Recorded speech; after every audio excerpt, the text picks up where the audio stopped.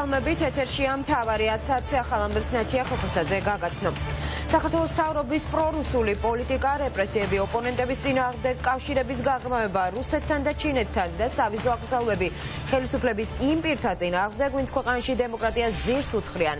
ეს წავეგზავნილები შეერთებული შტატების კონგრესში საქართველოს საკითხთან დაკავშირებით მეგობარი აქტის განხილვისას გაჟღერდა. კონგრესმენმა ჯო უილსონმა საქართველოში არსებულ ვითარებასა და რუსული კანონიდან მომდინარე საფრთხეებთან დაკავშირებით ხაზგასმით აღნიშნა, რომ ქართული ოცნების ხელისუფლება რუსეთს სულ უფრო მეტად უახლოვდება და სულ უფრო მეტად ემსგავსება ვლადიმერ პუტინსა და სხვა ავტორიტარულ მმართველებს. კონგრესმენმა ისაუბრა მოახლოებულ გადამწყვეტ არჩევნებზეც, უილსონი მიესალმება სახელმწიფო დეპარტამენტის განცხადებას სავიზო აკრძალვასთან დაკავშირებით. მეგობარი აქტის შესახებ კი აცხადებს, რომ ეს კანონპროექტი ქართველი ხალხის დემოკრატიული და ევროატლანტიკური მისწრაფებების მხარდასაჭერადაა შექმნილი. მოსფენაში მონაწილეობა მიიღეს შეერთებული შტატების ყოფილმა ელჩმა საქართველოში უილიამ კორტნიმ საქართველოს ყოფილ ფილმა ელჩმა ევროკავშირში ნატალია საბანაძემ და ფონდ ღია საზოგადოების ევროინტეგრაციის პროგრამის მენეჯერმა ვანო ჩხიკვაძემ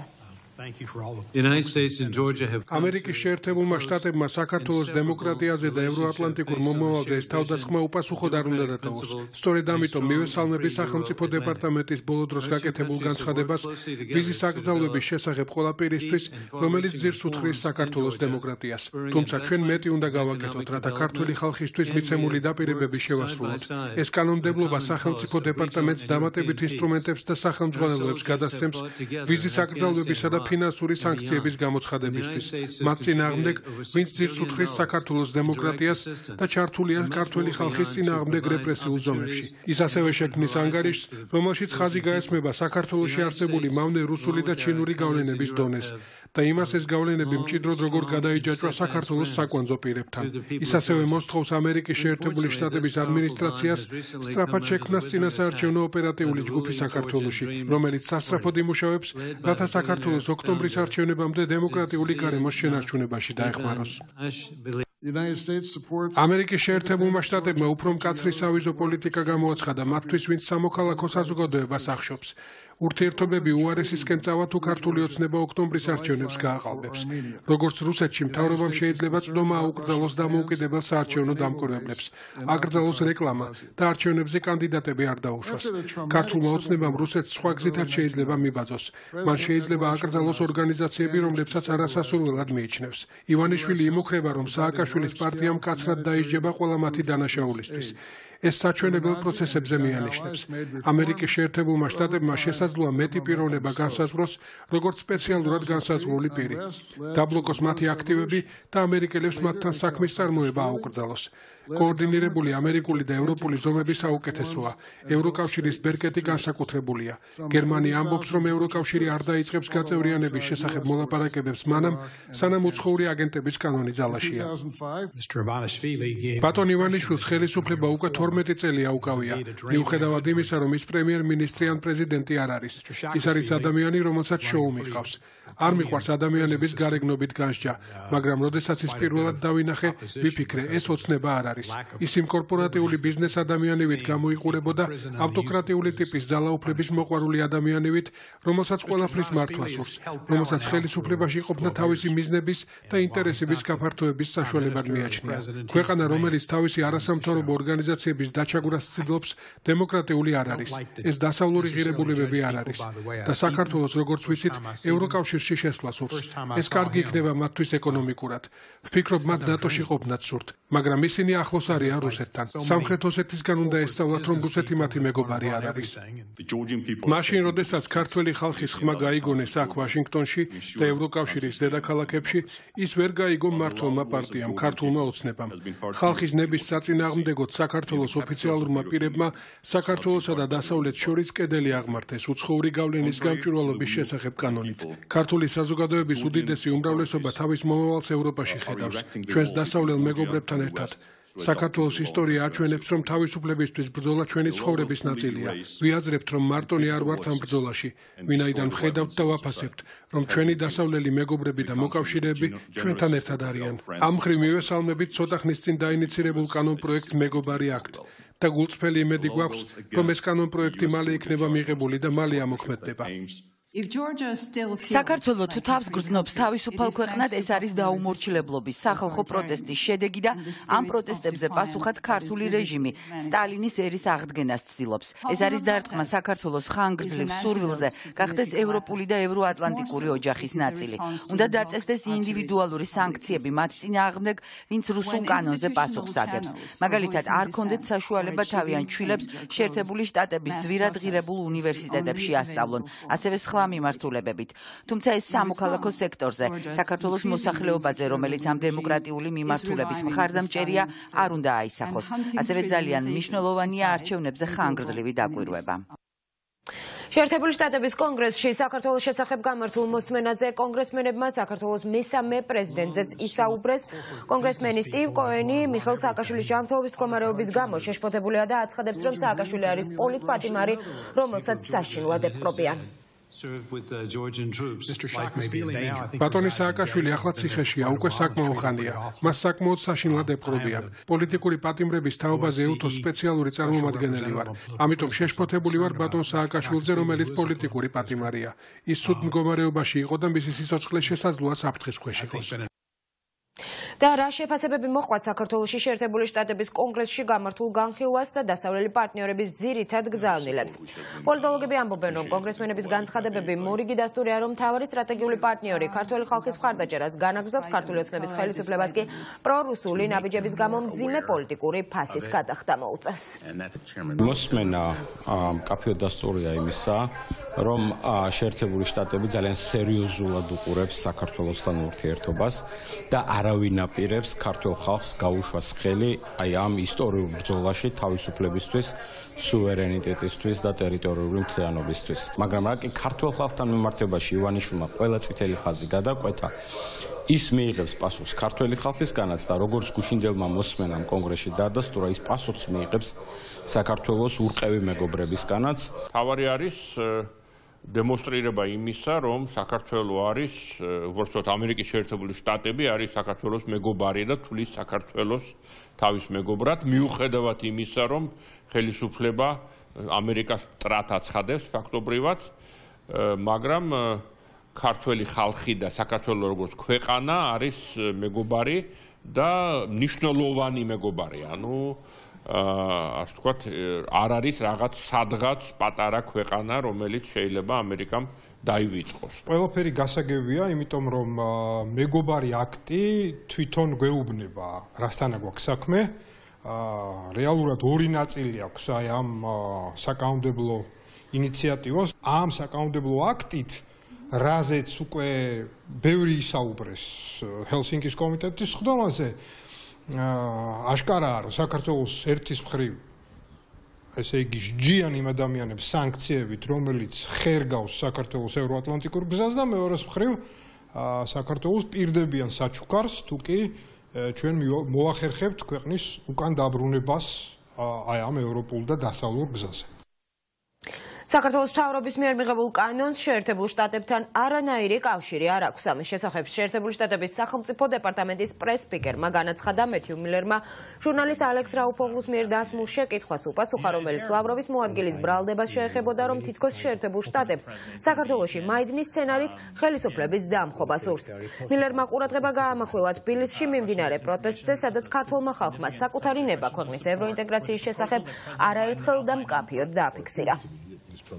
ის რაც თქვენ ნახეთ საქართველოში ბოლო რამდენიმე კვირის განმავლობაში ქართული ხალხის ნების გამოხატვა და მათი წინააღმდეგობა კრემლის მიერ მხარდაჭერილი კანონის მიმართ რომელიც საქართველოს მთავრობამ მიიღო. მას არანაირი კავშირი არ აქვს შეერთებულ შტატებთან ევროკავშირი რუსული კანონის მიღების შემდეგ საქართველოსთან ვიზა ლიბერალიზაციის საკითხის გადახედვას გეგმავს. ევროკავშირის ელჩი საქართველოში პაველ ჰერჩინსკი აცხადებს, რომ ევროკავშირში ლიბერალიზაციის შეჩერების საკითხი ერთ-ერთ ვარიანტად განიხილება და გადაწყვეტილებას ამის თაობაზე ევროპული გაერთიანების წევრი ქვეყნები რამდენიმე კოირაში მიიღებენ. ეს ჩვენ შევთანხმდით ვიზა ლიბერალიზაციაზე საქართველოსთან, მაგრამ გარკვეული პირობებით. ახლა კი უცხოური გავლენის გამჭვირვალობის შესახებ კანონის მიღების შემდეგ უნდა გადავამოწმოთ კვლავ ვრცელდება თუ არა საქართველოს ვიზა ლიბერალიზაციის პირობები. ექვსი თვით მის შეჩერებას წევრი ქვეყნების ხმების კვალიფიციური უმრავლესობა სჭირდება. არა ყველა წევრის, არამედ უმრავლესობის ხმა და დარწმუნებული ვარ, რომ ის ერთ-ერთ ვარიანტად განიხილება და წევრი სახელმწიფოები გადაწყვეტილებას მიიღებენ. ჩემი პრობლემა როგორც ევროკავშირის ელჩის არის ის, რომ ვიზა ლიბერალიზაციის შეჩერების შემთხვევაში მოქალაქეები იზარალებენ, რადგან ისინი მრავალი წლის განმავლობაში სარგებლობენ თავისუფალი მიმოსვლის პირობებით და ხალხს მძიმე ფასის გადახდა მოუწევს. ეს კი ნამდვილად არ არის ევროკავშირის მიზანი. ეს ჩემი მოსაზრებაა, მაგრამ გადაწყვეტილება წევრი ქვეყნების მისაღებია მომდევნო კვირებში. კაიროს გენერალურმა ასამბლეამ დევნილების დაბრუნებასთან დაკავშირებით რეზოლუცია მიიღო. დოკუმენტი საქართველოსა და მსოფლიოს 63 ქვეყნის მიერაა ინიცირებული და აღიარებს საქართველოს ოკუპირებული ტერიტორიებიდან იძულებით გადაადგილებულ პირთა და დევნილთა დაბრუნების უფლებას თავიანთ სახლებში ოკუპირებული აფხაზეთისა და ცხინვალის რეგიონებში. რიგით 78 სესიაზე რეზოლუციას მხარი 103 სახელმწიფომ დაუჭირა 9 ქვეყანამ დოკუმენტის წინააღმდეგობის სახმა 52 სახელმწიფო კი კენჭისყრას არ დასწრებია. რეზოლუციას ხმა არ მისცეს ბელორუსმა, ბურუნდმა, კუბამ, ჩრდილოეთ კორეამ, მალიმ, ნიკარაგუამ, რუსეთმა, სირიამ და ზიმბაბვემ. კენჭისყრას არ დაესწრო ოცნების ხელისუფლების ახალი მოკავშირე ჩინეთი და შესაბამისად არც დოკუმენტს მისცა ხმა. The voting has been complete. დაკავებულია ბიზნესმენი და სამოქალაქო აქტივისტი იოსებ ბაბაევი. შინაგან საქმეთა სამინისტროს თანამშრომლებმა გუშინ საღამოს გორში აიყვანეს ადვოკატის ინფორმაციით ბაბაევს უკანონო იარაღის ფლობას ედავებიან და უფლებადამცველი ამბობს, რომ მისი დაცვის ქვეშ მყოფის მანქანაში პოლიციელებმა ავტომატი ჩადეს, შემდეგ კი მას ფიზიკურად გაუსწორდნენ. ამის გარდა სამართალდამცველებმა დაკავებული საცხოვრებელ სახლში ჩხრეკა ჩაატარეს, თუმცა როგორც ახლობლები ამბობენ, კანონს საწინააღმდეგო მათ ვერაფერი იპოვეს. იოსებ ბაბაევი ანტისაოკუპაციო კაფებარის დამფუძნებელია ის აქტიურად იღებდა მონაწილეობას რუსული კანონის საწინააღმდეგო აქციებში. მისი ახლობლები მის დაკავებას სწორედ ბაბაევის პოლიტიკურ აქტიურობას უკავშირებენ. დრასა გამოძიება მოქმედებაში ჩაატარებს შეგიძლიათ გითხრა. საგამოძიებო მოქმედება ჩავატარეთ დრასთან დაკავშირებით რა მეიპოვეთ რამე აღმოაჩენ დეტალებს ვერდი აღმოაჩენ ანუ რამე ატარებთ ოჯახში ჩრეკას და იპოვეთ რამე. როგორც შანს ეს უკავშირდება ჩვენს აქტიურობას რომ ვართ წინააღმდეგი ამ არარაობა ხელისუფლების და რაღაცა ისეთი არადეკვატური განცხადება. განცხადებაც არის ყოველდღე დამისახელა რომ ედავებიან იარაღის უკანონოდ ტარებას. ანუ ჩემს ყოველდღე მიიღებელია იმიტომ რომ მე ვარ მისი მეგობარი და არც არც არასოდეს ქონია ეგ საუბარი და არც იარაღი არ აქვს. ჭირდებათ ახლა უკვე ამ კანონის მიღებამდე კიდე ძალაში სანამ შევა, ეს ხალხი ვინც აქტიურია, დაიწყონ დაშინება. ნუ მარტივი მიზეზია. დაიწყეს ნადირობა ადამიანებზე, რომლებიც სიმართლის მხარეს დანა. პოლიციაში ანუ წასასვი ჩამოთემაზეც იყო იქაც, ასე ვთქვათ, ჩემი მხრიდან წინააღმდეგობა ამ თემაზეო, ამ თემაზე წინააღმდეგობა გაუწიეთ ასეცენი არ წაერთმოდა, შემომახიეს აბსოლუტურად ყველაფერი და ისე წაიღეს რა. აბსოლუტურად დაზიანებული. აბსოლუტურად წინა, ანუ იმ კუთხით რომ ფიზიკური წინააღმდეგობა გაეწია, ესეთი შემთხვევა არ ყოფილა. წინააღმდეგობას გულისხმობ სიტყვიერ წინააღმდეგობას და გადაღების დროს, როდესაც ავტომანქანაში აფიქსირებდნენ მიტკიცებებს, ხო? ვითომ ვითომ ამ ესე იგი ჩემი იარაღის ამოღების დროსო ყოველთვის ისმის ჩემი ხმაო რომ რატო ჩადეთ, რატო ჩადეთ რუსული კანონი და სანქცირებული ხელისუფლება. შეერთებულ შტატების შეერთებული შტატების სახელმწიფო დეპარტამენტი ნათლად მიანიშნებს რომ სანქციების გარკვეული პაკეტი უკვე ამოქმედებულია რაც შეეხება ინდივიდუალურ პაკეტს სტრატეგიულ პარტნიორს ჯერ არ გამოუცხადებია თუმცა გავრცელებული ინფორმაციით ივანიშვილის პოლიტიკური გუნდის გარკვეულმა ნაწილმა სავიზო შეზღუდვის შესახებ ინფორმაცია უკვე მიიღო. ხელისუფლების ოპონენტები ამბობენ რომ სანქციები დასავლეთის პასუხია იმ პრორუსული ნაბიჯების შესაბამისად რასაც ქართული ოცნება მიზანმიმართულად და კრემლის ინტერესების სასარგებლოდ დგამს და სწორედ ამიტომ ხელისუფლებას ძიმე პოლიტიკური ფასის გადახდა მოუწევს. სანქციებთან დაკავშირებით სანქციები აი სამართალივით არის ურმით დადისო. სანქციები უფრო ჩქარად დადის მეილით. დავილოდოთ მოუვა ყველა საჭირო შეტყობინება, რატომ? იმიტომ რომ ისინი ხალატობენ საქართველოს და დემოკრატიის ინტერესებს. ეს იქნება ის დაღი თქვენ ნახავთ გავა წელი წლები რამდენიმე და ქართული ოცნების თითოეული მათ შორის ლიდერები იტყვიან რომ რუსული კანონის მიღება იყო შეცდომა და ინანიებენ ამ ქმედებას. სანქციები იქნება გამოყენებული ეს აზიანს აყენებს არა კონკრეტულად სანქციის ობიექტებს, არამედ ყველას. მაგრამ თავარი რა არის, რომ ჩვენ და მე მე ამას ამაში ამის მჯერა, რომ თუ ჩვენი მეგობარი სახელმწიფოები გამოიყენებენ სანქციებს, ეს სანქციები იქნება მაქსიმალურად წერტილოვანი იმისათვის, რომ ამის ესე ვთქვათ, შემდგომი გადაცემის ეფექტი, დამაზიანებელი ეფექტი მაქსიმალურად მცირე იყოს ჩვენი მოქალაქეებისთვის. ასეთი იყო ახალი ამბები ამ დროისთვის პირდაპირ ეთერში უკვე 11 საათზე დაუბრუნდებით. მანამდე კი კიდევ ერთხელ გაგაცნობთ ქართული ოცნების იმ დეპუტატებს, რომლებმაც რუსულ კანონს მხარი დაუჭირეს და კორონის ევროპულ მომავალს ძირი გამოუთხარეს.